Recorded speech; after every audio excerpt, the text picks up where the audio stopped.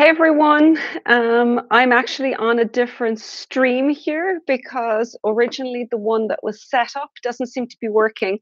Um, it was set to some streaming software and wouldn't let me change it to live from my computer camera.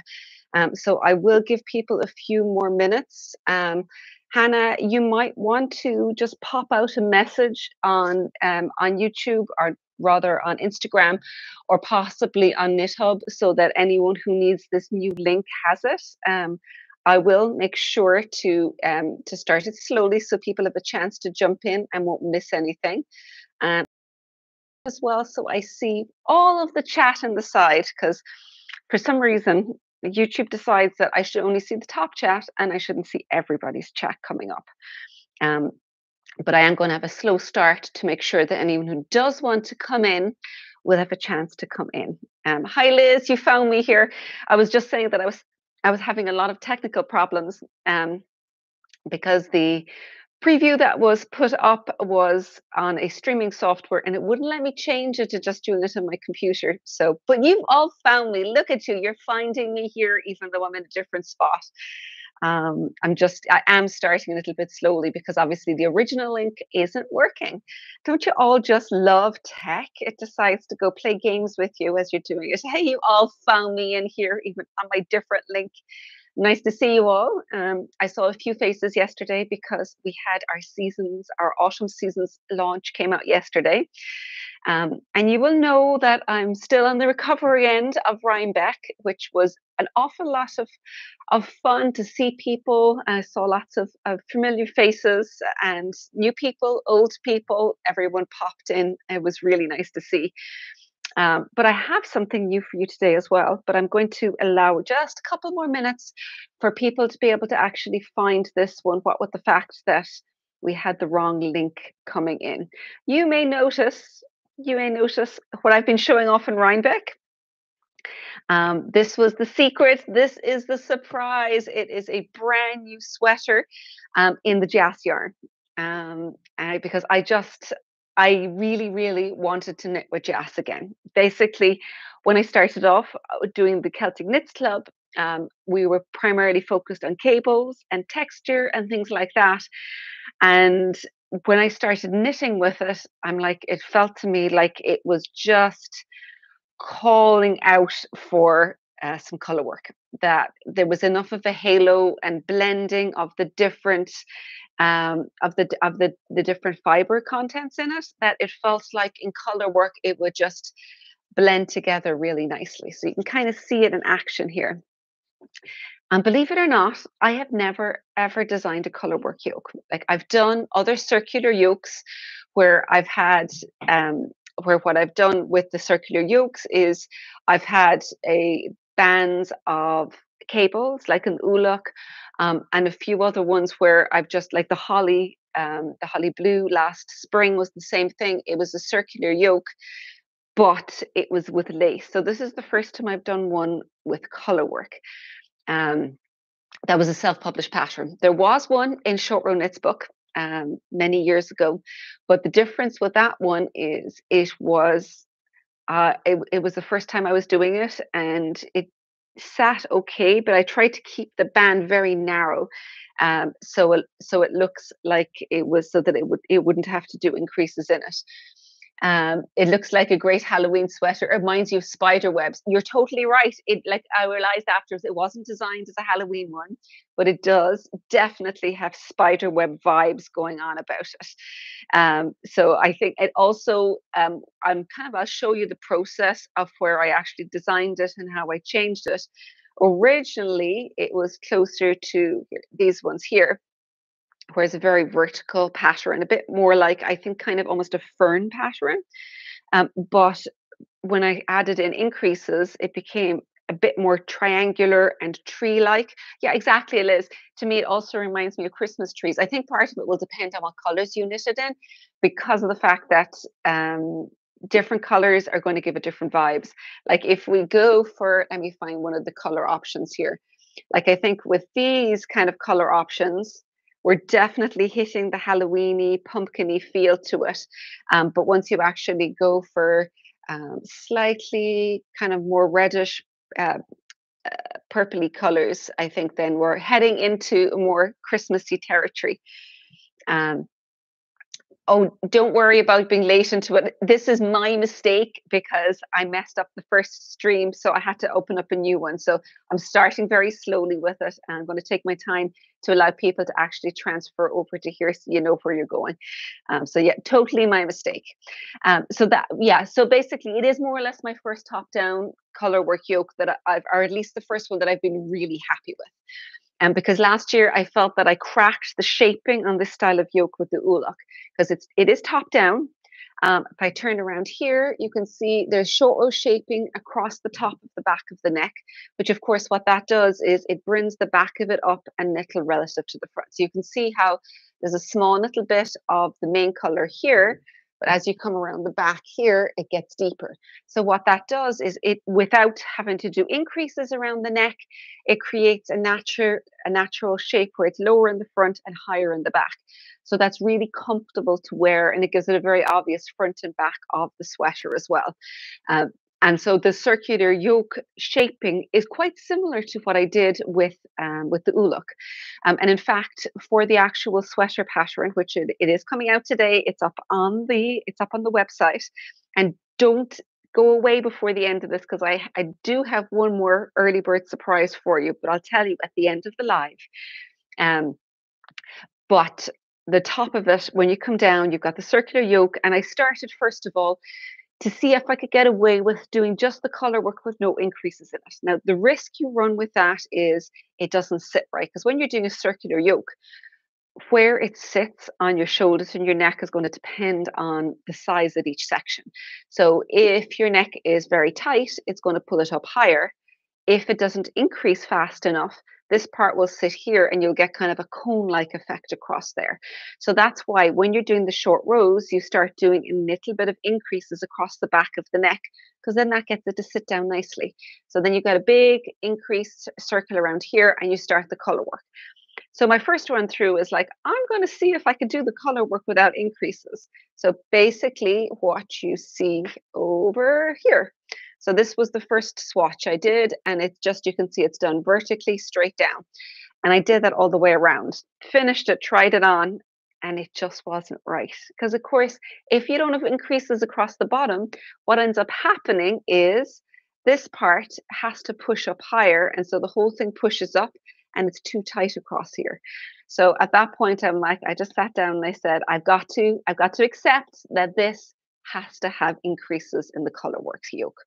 So then I swatched, this is not the whole color work, this is just the second half with me testing out how the increases are going to work. And you can see how it changes the shape of the motif. So this is the original motif. And then this is what it looks like as I started increasing, putting increases in so that the bottom part is wider.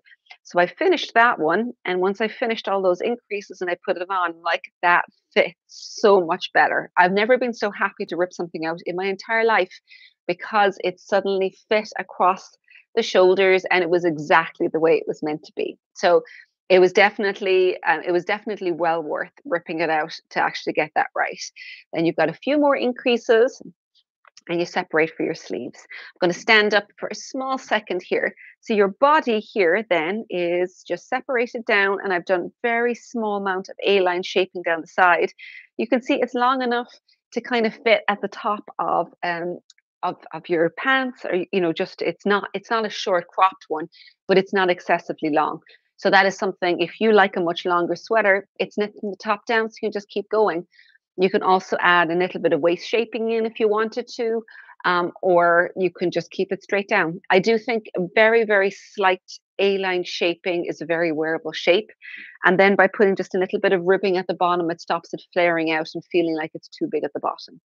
And then finally, the sleeves. Again, I wanted, because I tend to layer a lot in the winter time, I didn't make them too fitted. Like they're not loose, um, but it's a little bit bigger along there as you go. So it means that it just it fits nicely it's comfortable but it's not baggy um, everything can be done from the top down it is it uses very small amount of yarn because of course it's done in stockinette stitch and Jas is a very light yarn and it flies along. All of the sizes only use a single skein of yarn across here.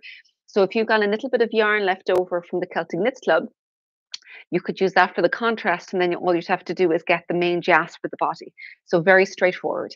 The pattern, it, it come a little bit like the knit along. Um, it's going to come with a set of tutorials, but it's not the full tutorials. So what I've actually done is I put in the first two ones from the Ulach sweater, showing you how to cast on and how to do the short rows across the back because it's identical to the, the way it's constructed in that. Obviously, it's a different sweater, but the actual techniques are going to be the same.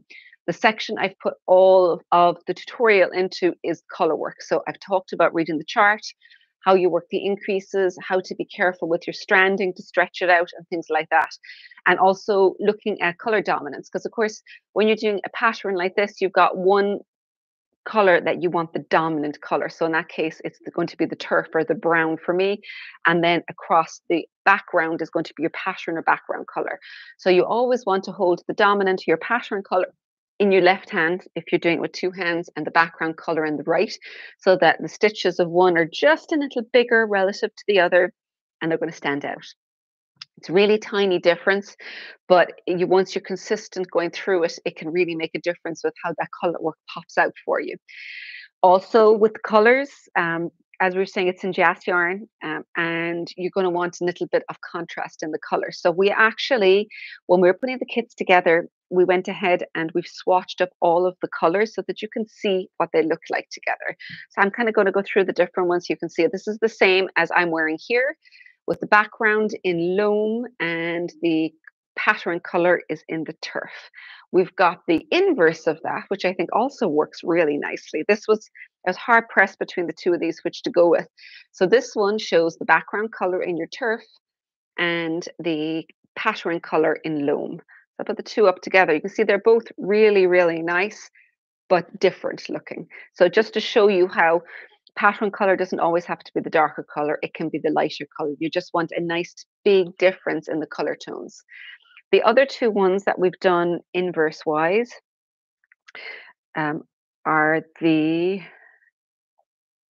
um, heather color here with the loam as the pattern and the loam with the heather as the pattern. Again, I'll oh, hold this up here so you can see it a bit better. Here you can actually see each of them up along and you get a feel for how they look different in this spot. Um, now, where are we? The next one, we've got another one here where we've got the two going on as well. I was saying this one is almost got a slight more Halloween feel, um, but I actually, I would, I think this would be a gorgeous full sweater. So you've got the background here in the roan, very orangey color with turf for the stitch pattern here. And then this is the inverse here again where the background is in the turf and the stitch pattern is in the roan. So just lovely, lovely difference in the colors. And again, for this one, you have to kind of envision it where the whole sweater is going to be this dark color with just this stripe of color across here. And this one, of course, you're going to have the roan in the background with just a small little bit of the turf running across here. And final one we put together here was we had the barrow blue color with the turf running as the stitch pattern across the front of it. So my question for all of you is, do you have a preference with color work like this? Do you tend to prefer having the band in a lighter color or a darker color, or do you prefer your sweaters light or dark?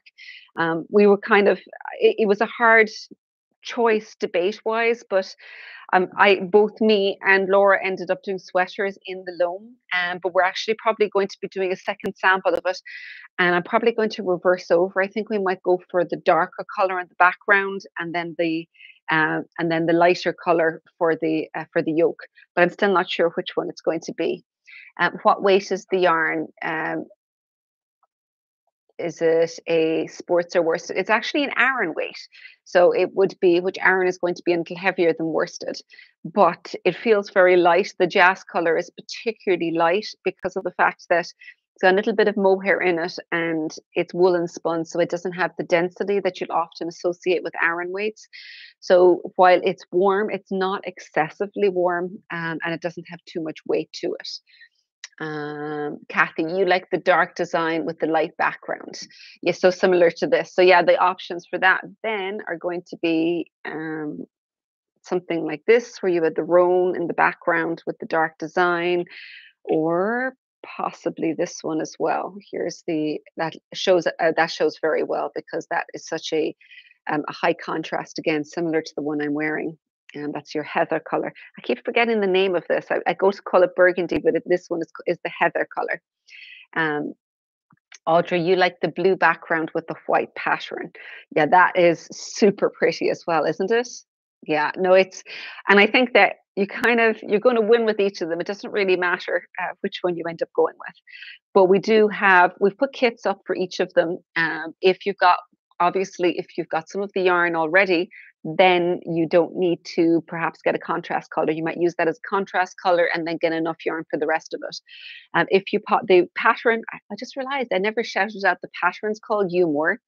Um, so you can actually find Yew Mor in the store immediately. Um, now, this is the one where I was saying, listen out to me. This will be coming out in the newsletter this evening, but I'm telling it to you first of all here. For this weekend only, we've got a 15% off site wide sale with the code Black Cat, just Black Cat, all in capitals. We're having a Halloween sale. We sometimes do trick or treat, but we decided we were just going to go do a treat for everybody. So we're going. You will have a Halloween sale with Black Cat coming out, and it, what it basically means is you're going to um, yeah you're going to be able to get 15% off the kit 50% off the pattern um, and yeah you get to you get to enjoy and knit this for less money. Um, you like the burgundy and the light contrast. This one here oh that is I, that is super.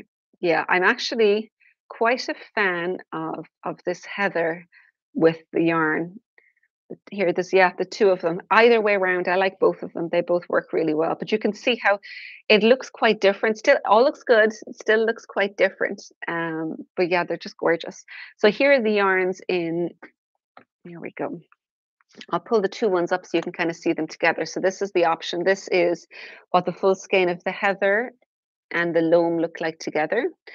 I'll swap a few out. And this is the loam with the barrow. That's the barrow, the blue color. And here we go. Uh, this one we don't have a color option together for because we preferred it with the turf. So this one we just didn't, we weren't as fond of as this one. It still works, but this is turf and this is the roan color. Again, you can flip those in either direction and they work really well. And I didn't pull this one up yet. This one is your barrow and your turf here. And I think think that was all the color contrast we had up. Uh, Liz is saying you think both ways work well. Yeah, I think so. I think that it doesn't really matter which one you end up with for the brightest color. It's going to it, it's going to work in either direction anyway. Kathy, you may have to knit too. That's kind of the way we're feeling around here. It's like I've knit one. I think Sue is probably going to knit one.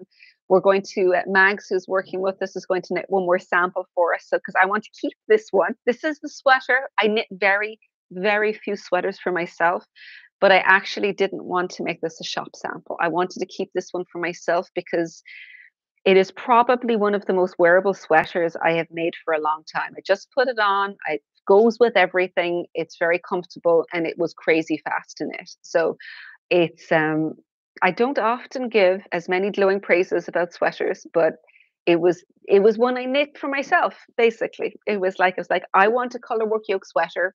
I don't want a very wide band. I want it to fit well and I want it to be comfortable enough to wear with everything. So they were kind of my criteria for making it. And the starting point being that I love knitting with Jas and it, the color work for Jas didn't fit in with the Celtic Knits Club. So it felt like it had to be something separate outside that. Um, so it was quite a treat to actually get to, to work with it.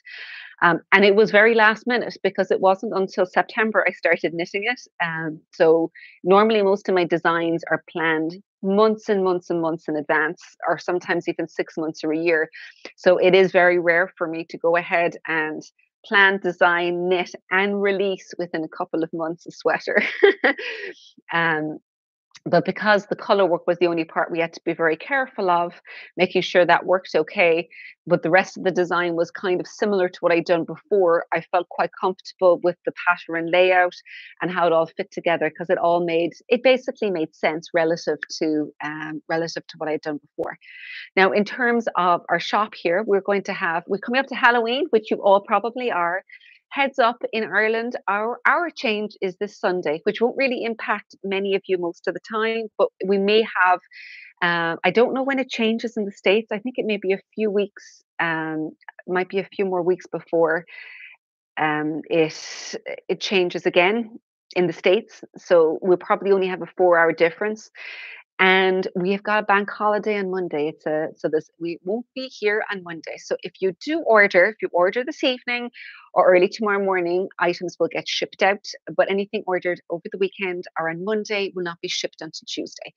But Laura, as you know, is super speedy, and, and Mags, I should say Mags as well. There's um, yeah, Mags comes in a couple of days a week to help Laura out with shipping. So they they're very very fast to get orders out, but they're not going to be working on holidays. So I'm looking at uh, I'm reading the comments here. Luann, you love them all, and Liz, you'll be marrying by by this next weekend. Yes, or maybe she'll be wearing three if we know Liz.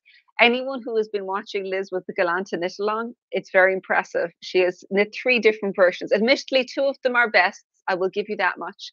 But I am completely in love with her um, her Blosta Bond, the white Blosta Galanta one. It is glorious. It's it makes me kind of want to get some more Bond because I'm not even sure if we've got any left in stock, or if we do, it's it's very knittle. I'll have to kind of hide it away, squirrel it away somewhere.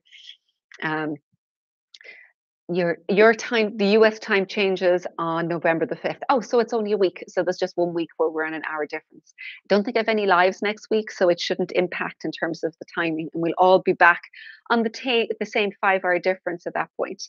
But I am so excited to actually share you this sweater with you all. Um, yeah, it was uh, Nadia who works with us here was actually laughing. She said, when I'm doing videos for something that I'm really excited about, it really transmits and it's very obvious that it's something that I absolutely adore myself. So this is this definitely falls into that category. It's wearable and I think everyone should have a Yew Mor sweater by Christmas time. And if you don't have a chance because you're doing Christmas knitting now, once you get past the color work yoke, the rest of it is just straight in the round. So it's actually perfect Christmas time knitting.